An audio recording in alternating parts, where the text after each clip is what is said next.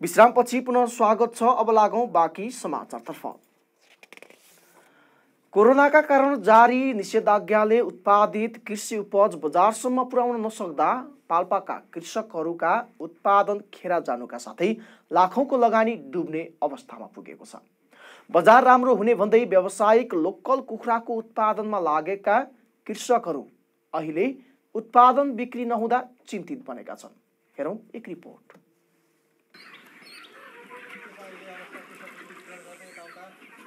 यी हुन् तानसेन बर्तुङका युवा कृषक शिव भण्डारी। यिनको खोरमा अहिले साना ठुला गरी नौ सय बढी लोकल कुखुरा छन्। यस्तै यिनले वितरण गरेका विभिन्न कृषकका खोरमा दस हजार बढी लोकल कुखुरा छन्। अहिले उनलाई यी कुखुरा कहाँ कसरी बेच्ने भन्ने पिरालो छ। जिल्ला लगायत छिमेकी जिल्लाहरूमा समेत कोरोनाको कारण निषेधाज्ञा भएसँगै उनका खोरका कुखुरा खोरमै सीमित छन्। कुखुरा बेच्न नपाएपछि उनलाई समस्या त परेकै छ त्यसमाथि बेच्न तयार भएका कुखुरालाई पालिराख्नु पर्दा पालन खर्च बढेको छ। करिब सात वर्ष विदेशमा पसिना बगाएर फर्किएका भण्डारी पाँच वर्ष अगाडिबाट व्यावसायिक कृषि र कुखुरा पालनमा लागेका हुन्। गत वर्ष पनि कोरोनाले ठुलो घाटा बेहोरेका भण्डारीले यस वर्ष पनि घाटा हुने भएपछि चिन्तित छन्। फाइदा चाहिँ राम्रै फाइदा हुन्छ।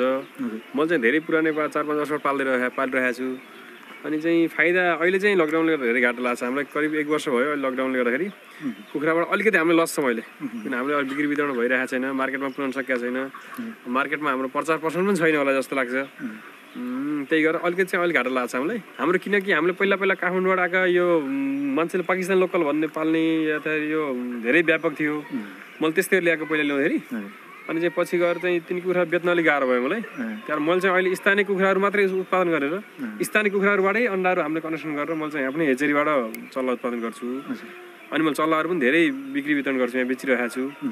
र हामीले चाहिँ प्योर लोकल यहाँ हाम्रै स्थानीय पाल्पाको लोकल मात्रै उत्पादन गरेका छौँ। समस्या अहिले चाहिँ मार्केटिङकै समस्या छ अलिकति। किनकि अहिले बाहिर आएको कुखुराहरूले र यहाँको हाम्रो स्थानीय कुखुराहरूलाई के छ भन्दा बाहिर आएको कुखुराले चाहिँ मार्केट अब एउटै एउटै भयो कि त। लोकल कुखुरा भन्दा होइन त बाहिर आएको कुखुरा होला फार्मबाट आएको फार्मको कुखुरा भनेपछि सबैको चाहिँ दिमाग के कसो भन्दा यो कुखुरा यहीँको लोकल होइन भन्ने मात्रै त्यो घुसिया छ। त्यस कारणले गर्दाखेरि पनि अलिकति हामीलाई त समस्या छ मार्केटिङमा उनको खोरमा केही कुखुरा बेच्ने भएका छन् भने केही हुर्कदो अवस्थामा छन्। उनले चल्ला उत्पादन गरी बिक्री गरेका दस हजार बढी कुखुरा अन्य कृषकका खोरमा बिक्री नभई बसेका छन्। लोकल कुखुराको बजार राम्रो देखेर कुखुरा पालन गरेका भण्डारी जारी निषेधाज्ञाले आफू र आफूले अगाडि बढाएका कृषकको लाखौँको लगानी डुब्नेमा चिन्तित छन्। तयार भएका कुखुरा बिक्री हुन नसकेपछि उनले अब ग्राहकको घर घरमै पुर्याइदिने सोच बनाएका छन्। पाडी राखेर खर्च बढाउनुभन्दा नाफा नभए पनि अर्डर अनुसार घर घरमै कुखुरा पुर्याइदिने उनले बताए। अरूलाई धेरै उत्पादन गराउने भन्ने एउटा चाहिँ गरियो पाल्पामा। अहिले हामीसँग करिब मसँग धेरै छैन। अहिले चाहिँ तपाईँको चाहिँ सात आठ सय नौ सय जति होला। तर चाहिँ मेरो चाहिँ कन्ट्याक्टमा हामीले चाहिँ मैले आफै चल्ला दिएको चाहिँ आठ दस हजार चल्लाहरू। कुखुराहरू तयार भएको कुखुराहरू चाहिँ आठ दस हजार छ। मैले आफूले चाहिँ आफूले बेचिरहेको छु बुटोल तानसिङ पोखरा पनि दुई चारजना व्यापारी साथीहरू आउनुहुन्छ। लकडाउन नभए हाम्रो समस्या छैन छैन हजुर। एकदम राम्रो छ। यसको मासु पनि स्वादिष्ट टेस्ट छ होइन? अनि चाहिँ कुखुरा पनि चाँडै हुर्किया छ। जस्तै चार महिना पाँच महिना कुखुरा तयार हुन्छ।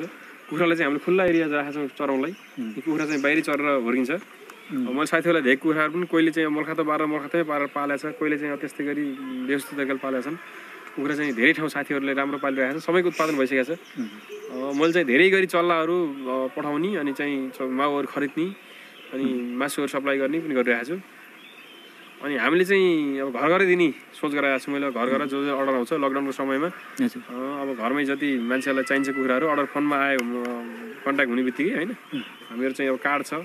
तानसिन भगवती मन्दिर अगाडि पनि हाम्रो एउटा फ्रेस हाउसको पसलको बोर्ड छ। अहिले चाहिँ फ्रेस हाउस लकडाउन गर्दा बन्द गरेका छौँ तयार भएको उत्पादन बिक्रीमा कुनै पनि निकायले सहयोग नगरेकाले उनी दुखेसो पोख्छन् अघिल्ला वर्षहरूमा राम्रो आमदानी लिन सकिएकाले आफूले अन्य कृषकलाई समेत यस पेसामा आबद्ध गराएका उनलाई अहिले ती कृषकका उत्पादन समेत कसरी व्यवस्थापन गर्ने भन्ने पिरालो छ।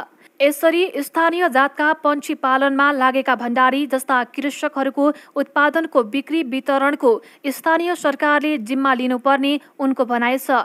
यदि यसै गरी वर्षेनी आउने महामारीले आफू र आफू जस्तै सयौं कृषकको लगानी डुब्ने हो भने फेरि विदेशकै मुख ताक्नुपर्ने उनी बताउँछन्। यसरी विदेशी भूमि छाडेर स्वदेशमै केही गर्छु भन्ने युवाको परिश्रम र उत्पादन बिक्रीतर्फ सम्बन्धित निकाय र स्थानीय सरकार गम्भीर हुनुपर्ने देखिन्छ नत्र भण्डारी जस्ता कृषकहरू कृषि पेसाबाट पलायन हुने देखिन्छ। पाल्पाबाट सन्तोष बस्यालको रिपोर्ट।